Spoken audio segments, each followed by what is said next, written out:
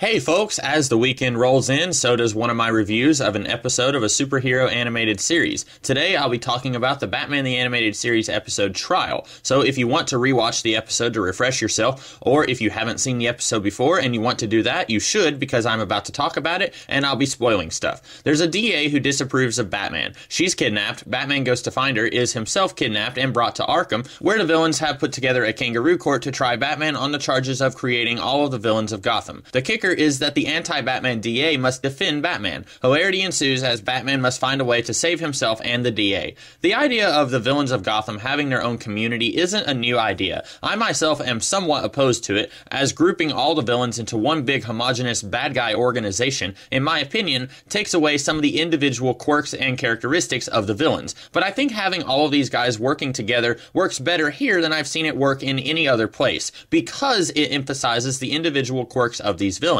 We see that Ivy lets her rage get the better of her when it comes to injustices against plants, even if these injustices were committed by someone she allegedly has a common cause with. While Harley would love to see Batman's ticket get punched, she'd also love to punch Joker for trying to sell her out. This episode is able to maintain what's so great about all of these characters, namely their psychoses, while it's also able to make them all work together toward a common goal. I wouldn't want to see all the villains of Gotham form their own little Legion of Doom every episode, or even less often than that, but once or twice in this series works for me.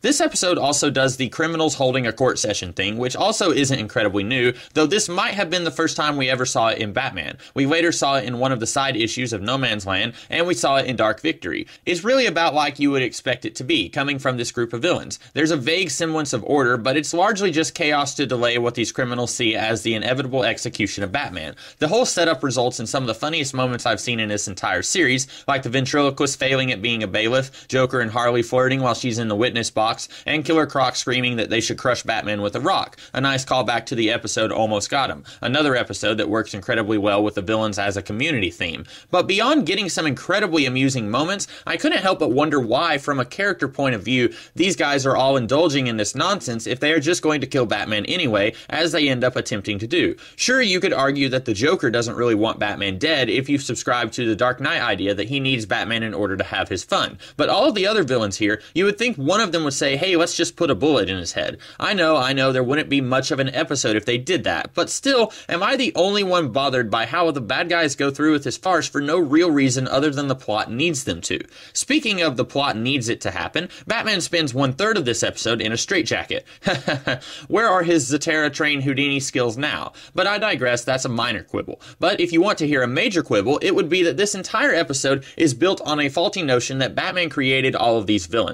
At least the way that notion is presented is very faulty. I'm a big fan of the idea seen in The Dark Knight Returns, Year One, and Begins that as soon as Batman shows up, other people get the idea to dress up, and suddenly you have two dozen psychos all in costumes wrecking havoc across the city. It's a very interesting idea that basically Gotham is screwed. If Batman doesn't show up, regular crime takes over, and if he does, super crime takes over. But that idea is not consistent with any of the villains in this series, and what's worse, this episode knows that. It starts off throwing around this idea of Batman made these criminals who they are, and as soon as that's mentioned, I'm tallying in my head how each of these guys would still be just as psychotic as they are here if it wasn't for Batman. Now, sure, the episode tries to make that the DA's character arc in the end when she realizes this is a faulty notion, but this is something she should have realized 0.5 seconds after she said it. At the very least, when she's on Batman's case about how the city would be better off without him, he should have turned it around on her. Okay, if he wasn't there, the mob would still have targeted Dent. The Mad Hatter would still be a creepy stalker dude, and Poison Ivy would still be an insane plants rights terrorist. This whole notion feels like something that would have worked incredibly well in the comics, where it would be much more difficult to refute, but it doesn't work at all in this series.